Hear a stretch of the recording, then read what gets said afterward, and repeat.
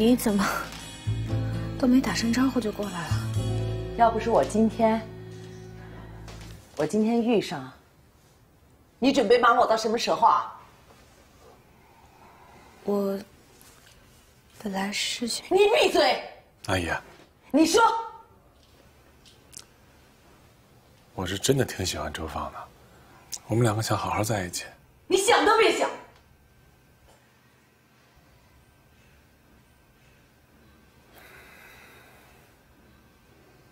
我要回家，你送我。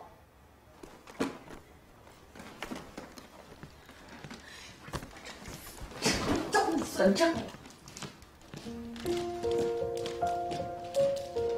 没事没事没事，别怕别怕啊！我送妈妈去，在家等我啊。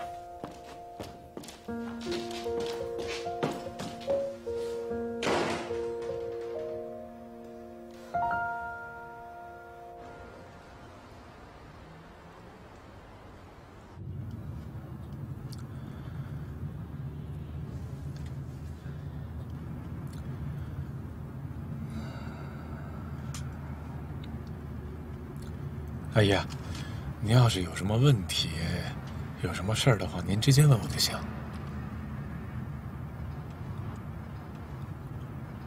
说说吧，你是真的喜欢我们家周芳啊？我是真的喜欢你们家周芳阿姨。你了解我女儿吗？呃，肯定是没您了解，但我也是一直在一个了解的过程中。我们相处这段时间，其实就是一个互相了解的过程。了解多了之后，发现我更喜欢他了。阿姨，我知道您担心什么，您怕周芳跟我在一起，感情上受伤害，对吧？你也别怪我，我防着你。现在的年轻人太浮躁，分分合合的。跟过家家一样，动不动找第三者，道德底线太低，自我约束能力太差，人啊得有点责任感。你说要不然的话，哎，跟动物有什么区别啊？哎，我真不知道你们年轻人现在成天在想些什么，光想着喜欢、谈恋爱，就没想过婚姻。谈恋爱当然想过结婚，阿姨。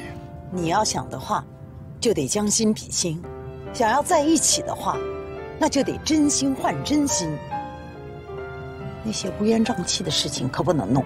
嗯，阿姨说的对。阿姨，我对周放是真心的。我也经历这么多了，也看了这么多了，碰到周放这么真的表里如一的人，真的是知世故不世故的人。很难得，我非常非常珍惜，我也非常喜欢他。我希望能跟他长久的走下去。而且阿姨，你真的不用担心，周放之前经历那么多，到了我这儿，在这种事儿上，我是不可能，我也舍不得让他再受伤害的。阿姨，那你跟我说说，那那那些什么，你的什么前女友、未婚妻，那到底是怎么回事情啊？哪里有未婚妻啊？往上面写的。说你有什么绯闻女友啊？那是到底是怎么回事啊？哎，阿姨，网上的这些消息吧，其实看都别看。那些记者拍了一些照片，给你胡写一通，什么都敢讲，乱写一些标题，很隐晦的要表达一些事儿，但又说不出来任何实质性的东西，都是假的。阿姨，这些东西是真的是挺讨厌的。那我现在也是听你在这儿说，不，你你你拿什么来证明呢？哎，哎，您说让我证明，我好像还真没什么能证明的。这种事儿我怎么证明啊？那我只能是说，我用以后的时间，我去证明我是真心爱周放，我是真心喜欢周放。